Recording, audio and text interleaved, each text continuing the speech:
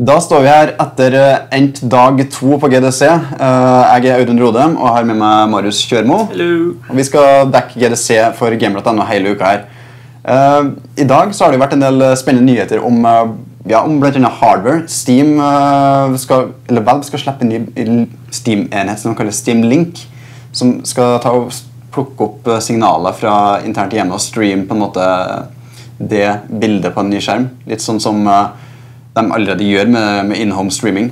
Og den skal på en måte kunne søke opp uh, automatisk andre maskiner som kjører Steam samtidig i, uh, på samme nettverk. da. Ja, det blir spennende å se hva som på en måte blir eh, bruksbehovet for det. Jeg tenker jo Litt av poenget når du kjøper en Steam-maskin, er jo at du da allerede flytter maskinen til den skjermen du har tenkt å spille på. Det er vel litt det samme som med PS-TV, som Sony lanserte i fjor høst. hvis jeg husker riktig.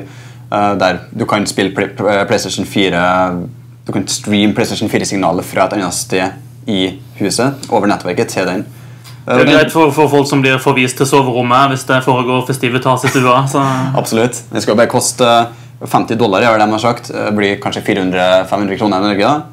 Eh, De har også annonsert prisen på streamkontrolleren. Samme. 50 dollar ish. Det, vi vet ikke hva den vil koste i Norge ennå. eh, Og jeg tror ingen har fått ta på den enda her på GDC.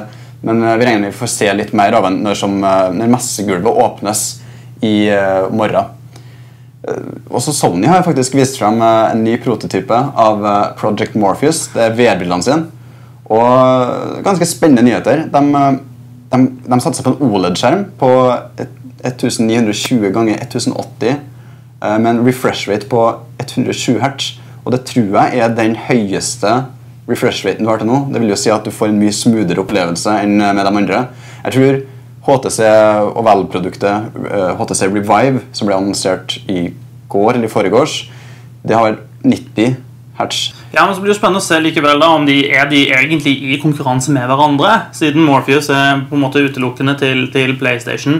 eh, om, om det egentlig kommer til å være en direkte konkurrent til, til PC, på en måte. Ja, og HTC Revive kommer jo faktisk før Morpheus hvis de klarer å overholde fristen sin. Eh, HTC Revive skal komme nå i år, mens eh, Project Morpheus skal komme tidlig neste år. Ja.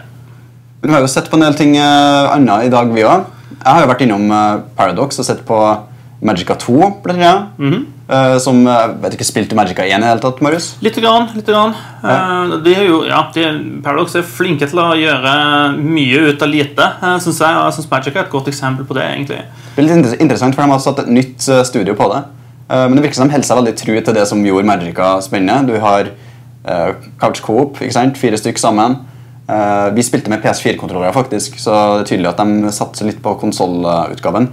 Det var litt eh, vanskelig å holde styr på alle abilitiesen. Du hadde åtte forskjellige magics, og uh, litt av konseptet i magica er jo at du blander dem for å få forskjellige spilleffekter. Du kan f.eks. blande uh, det er vel vann og, og, og ild for å få damp. Du kan blande kulde og vann for å få snøballer som du kaster på fiendene. Og du har en sånn dødskraft som du kan blande med, med andre ting for å få, få andre spell effects. Det appellerer litt til spillerne sin eh, kreativitet. da. Eh, At man kan, kan prøve seg frem og finne ut av hva som funker bra. Ikke minst det, og også det at Friendly Fire er faktisk umulig å skru av. Eh, også den gangen her, Så du må eh, belage deg på å bli drept mange ganger av vennene dine, sånn som jeg ble i Magic 1. Det andre spillet jeg så på fra dem, var jo Nights of Pen and Paper 2. Ja, Nights of Pen and Paper er jo et spill der du, du spiller en, en gjeng med, med faktisk folk som sitter i kjelleren og har en Dungeon Master foran seg og skal gå på eventyr i den campaign som Dungeon Masteren forteller. Så ser du omgivelsene endre seg rundt deg. Så det er veldig meta, og det er ganske spennende å følge med på det. Eh, Det som skjer i toeren, er jo eh, egentlig ikke så mye nytt, men eh, jeg tror dem som likte det første, vil også sette pris på det. Grafikken har ironisk nok fått et lite løft, for i det første spillet så var det litt mer sånn 8-bit-aktig. Nå kan vi si at de har kommet seg til 16-bit-formel. Men de satser på PC-versjonen også da, til toåren. Først og fremst mobilutgaven vi fikk se i dag. Eh, Så får vi se, De kommer sikkert det ut på PC hvis det går bra nok. Men, Ja. hva, hva har du, men hva har du gjort i dag, Marius? Jeg har jo vært rundt overalt, jeg. eh, Som alltid. Nei, jeg har vært på en del forskjellige foredrag. Eh, Blant annet så var jeg og hørte på, på 11-bit Studio som prata om eh, This War of Mine, eh, som jo kom ut i fjor. Eh, Med brask og bram, eh, og ble, ble the talk of the town, eh, som man sier.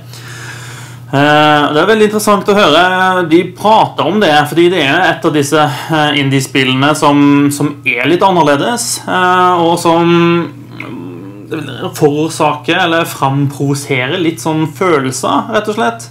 Og hvor de satser veldig mye på at man skal i stedet for at spillet forteller deg at eh, nå var du slem, eller nå gjorde du noe kjipt, så ønsker de egentlig bare at du sjøl som spiller skal komme til den konklusjonen av deg sjøl. Eh, og en del hvordan de jobbet med det. Um, og også hvordan de måtte jobbe ganske mye med slett å læ- lære eller avlære spillere med, med vaner som man har plukket opp fra før av.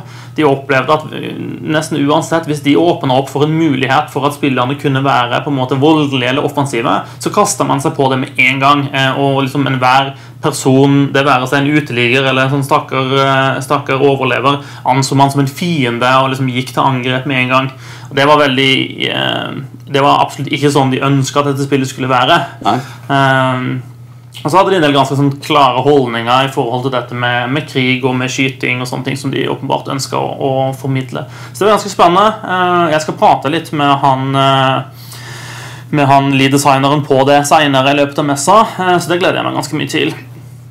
I tillegg så var jeg på en, en annen talk eh, som jeg også likte veldig godt. Eh, som var eh, en dame som heter Amanda Lang, som jobber i Microsoft. Eh, og hun kalte seg noe sånn som en tech evangelist. Og det hun egentlig har gjort, er å gjøre en stor brukerundersøkelse på gamere. Og det det handler om er Hun har gjort det på en del spill som handler om moralske valg. Spill hvor man kan velge å være snill eller slem, eller gjøre snille slemme handlinger. Um, og eh, det var ganske interessante svar som, som kom frem. Det var noen sånn mangler i, i eh, de undersøkelsene.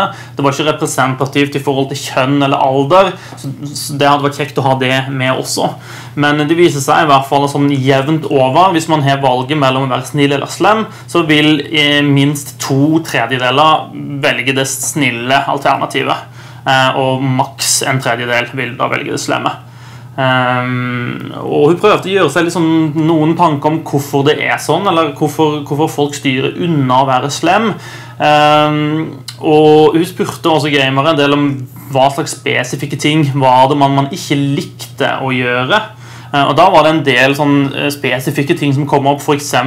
torturscenen i GTA mm. er jo ganske kjent. Den, den er jo ganske fæl. Du kjenner liksom den. Den er rimelig drøy. Ja, eh, du hadde i, i eh, Call of Duty, den No Russian skyter på sivile. Du hadde det samme i Heavy Rain. eh, hvor du spiller en, en av de hovedpersonene du spiller, er på en måte holdt som gissel omtrent da, med en sånn slem morder, eh, og får deg til å gjøre verre og verre ting. Eh, og Det er egentlig et veldig godt eksempel på det, fordi de aller fleste går på en måte med på å gjøre disse tingene som morderen sier du skal gjøre, til du kommer til et visst punkt. Men når du kommer til det punktet at du skal skyte en, en, en person som ikke har ikke har våpen, som bare er hjelpeløs, så var det veldig mange som bare Nei, dette, dette kan jeg ikke gjøre lenger. Nei. Og det er litt interessant, for at i det spillet Jeg husker jo det akkurat det her eh, scenen. Og før det så har du, må du faktisk kutta deg fingeren på et punkt for å komme deg videre. Yep. Så og- og det, det gjorde er greit. folk. Det Ja, folk. ja. Men uh, vi, vi Det svei, det husker jeg. Den, den reiv skikkelig i hjerterota. Sitte og høre forferdelig. Lyden var kjempebra. Ja, nei. Ja, så Det var veldig veldig interessant. eh, og Noe som jeg gjerne har lyst til å høre mer av. egentlig. Eh, grave litt mer i det, se om, det, om jeg klarer å finne ut av noe mer der. Ja, nei, Det er jo et kjempeinteressant fenomen som er i spill. Mm. Men jeg tror egentlig det er det vi har å si om dagen i dag. Ja, det har jo vært mye. Jeg har vært og sett på masse indiespill og alt mulig. eh, og det, det kommer vi til å fortsette å gjøre også. Det er jo veldig mye indiespill her. Absolutt. Ja. Men vi, skal, vi kommer tilbake i morgen, og i morgen åpner messegulvet, som sagt, og da får vi forhåpentligvis uh, fått hendene våre på en del ting. Uh, vi, vi, vi gjør vårt ytterste for å gjøre det. Så takk for nå, og, og vi snakkes.